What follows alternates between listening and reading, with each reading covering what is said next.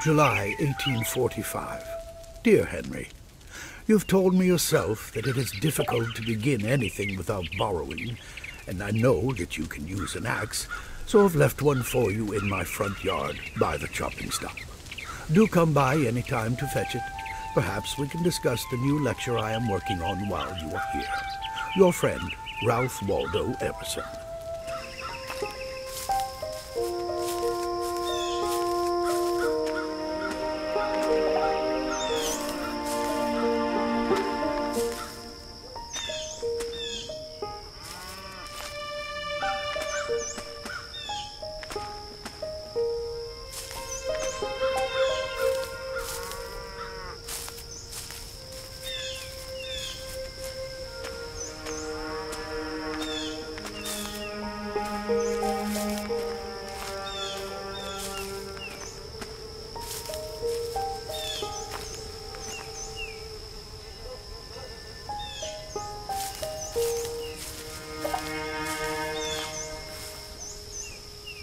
Every day or two I stroll to the village to hear some of the gossip which is incessantly going on there, circulating either from mouth to mouth or from newspaper to newspaper, and which, taken in homeopathic doses, was really as refreshing in its way as the rustle of leaves and the peeping of frogs.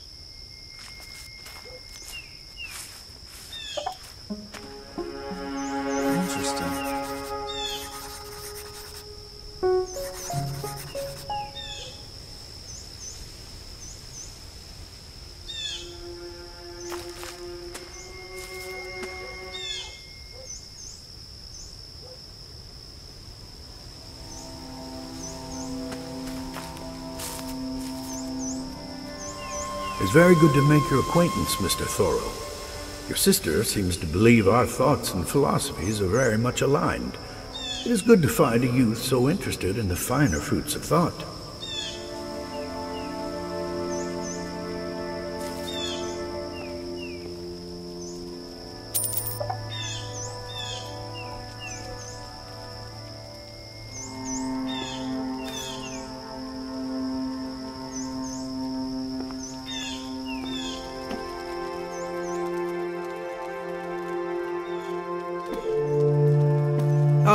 Hello. Hello. Oh, Henry, how goes your new experiment? Has genius struck yet at my woodlot? Yes, in fact, the experiment is going quite well. Excellent to hear. I do look forward to reading your new work. I hope you're keeping a good journal, full of your insights about life in the woods. Since you're here, I could use your assistance with some research I'm doing for a new lecture. Could you spare the time to help me? Certainly. Oh, thank you. I know you're quite busy with your own work, but I need help finding my copy of Homer's Iliad. I saw that you were reading it down by your new cabin. Do you still have it there?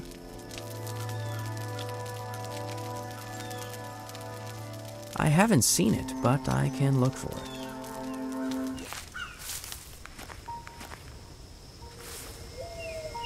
Hmm.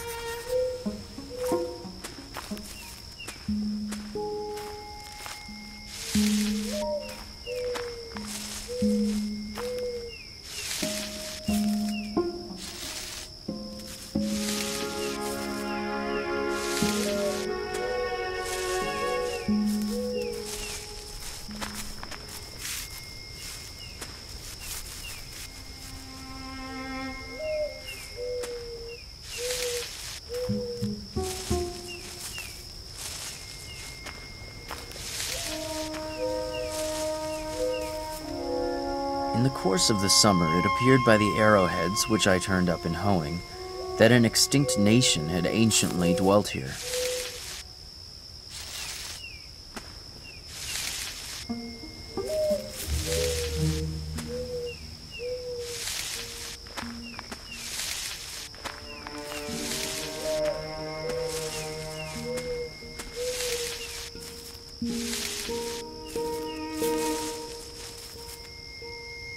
Before yet any woodchuck or squirrel had run across the road, or the sun had got above the shrub oaks, While all the dew was on, I began to level the ranks of haughty weeds in my bean field and throw dust upon their heads.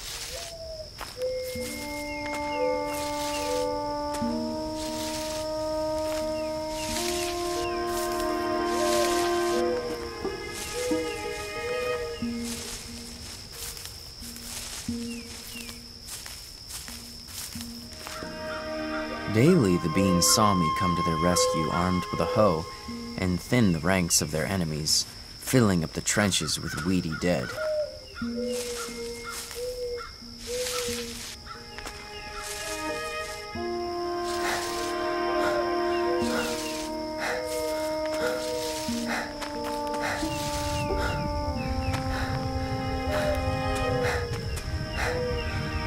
As I drew a still fresher soil about the rows with my hoe, I disturbed the ashes of unchronicled nations who in primeval years lived under these heavens, and their small implements of war and hunting were brought to the light of this modern day.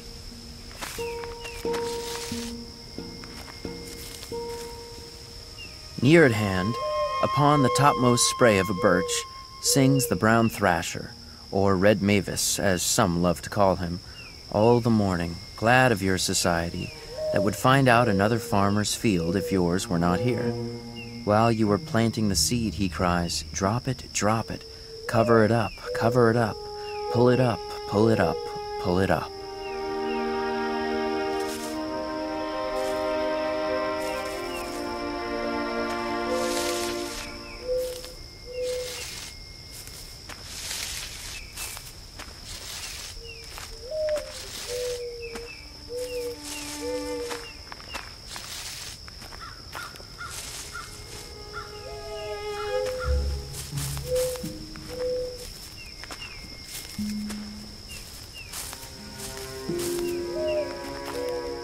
From under a rotten stump, my hoe turned up a sluggish, portentous, and outlandish spotted salamander, a trace of Egypt and the Nile, yet our contemporary.